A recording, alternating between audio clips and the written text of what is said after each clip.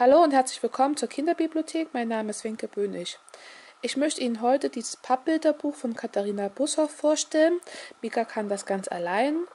Es ist im Fischer Verlag 2015 erschienen und es wird für Kinder ab zwei Jahre empfohlen.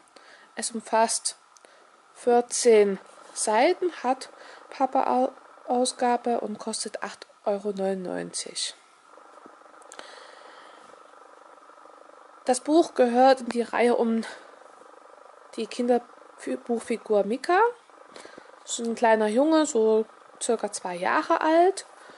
Und Katharina Bushoff, die auch die Bilder für das Buch illustriert hat, hat hier fünf kleine Geschichten um Mika in dem Buch versammelt, die alle aus dem Alltag eines Zweijährigen gegriffen sind. Hier sehen wir die ersten beiden Seiten in kleinem Text wird ähm, die Familie vorgestellt, also Mika, seinem Vater, seine Mutter und sein Kuscheltier Knuffel. Und hier links haben wir so eine Art Inhaltsverzeichnis mit solchen kleinen Foto-ähnlichen Bildern. Kann man die Geschichten, um die, die sich dann in dem Buch versammelt sind, ähm, hier nachlesen. Also es geht darum, dass Mika sich versteckt, selber Laufrad fährt, sich selber anzieht, auf einer Mauer spazieren geht oder einem Turm baut. Also ganz typische Geschichten aus dem Alltag eines Zweijährigen. Schauen wir uns mal eine Geschichte an. Hier geht es um Mika zieht sich an. Ähm, er zieht sich selber an. Also ein Thema, was ganz groß ist bei den Kindern in diesem Alter, die sich selber anziehen wollen und dann ganz gerne auch mal verrückte Sachen dabei machen. Man sieht gleich, das ist in solchen kleinen Abschnitten mit so einem, umrandeten Bild und mit einem, einem Satz als Text dazu die Geschichte erzählt wird. Und man kann die hier so Stück für Stück lesen. Das ist richtig prima gemacht, weil alles ähm, auf zwei Doppelseiten passt, gut übersichtlich ist und ähm, die Kinder den Kindern klar ist, hier fängt es an, dann kommt das nächste und da und so geht das immer weiter, so wie wir eben Buch lesen, wie es bei uns üblich ist.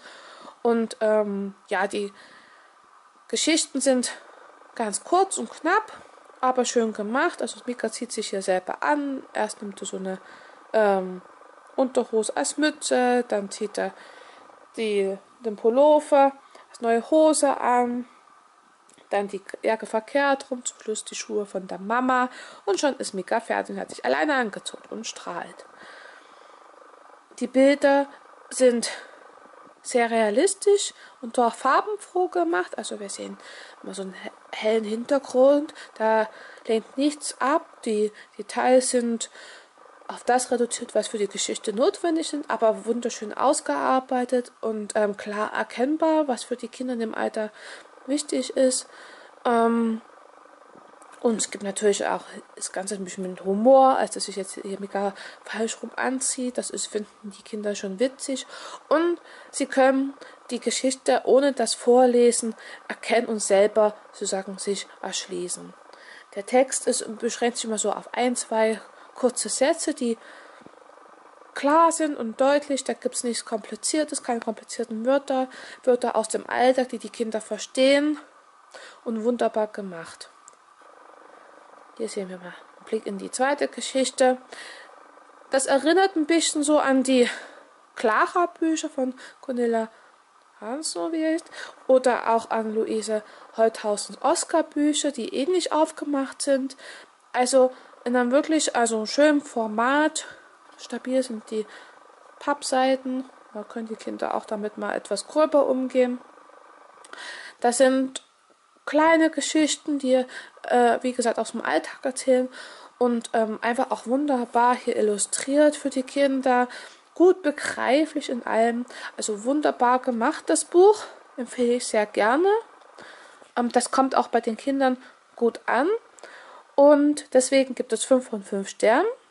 Wie immer gibt es in der Infobox den Link auf die Rezension im Blog äh, und die ganzen Buchinformationen zu dem Buch. Empfehle ich sehr gerne. Mika kann das ganz allein von Katharina Bushoff im Fischer Verlag erschienen. Ich wünsche Ihnen viel Spaß mit diesem Bilderbuch oder mit einem anderen Kinder- oder Jugendbuch. Bis zum nächsten Mal. Vielen Dank für Ihr Zuschauen.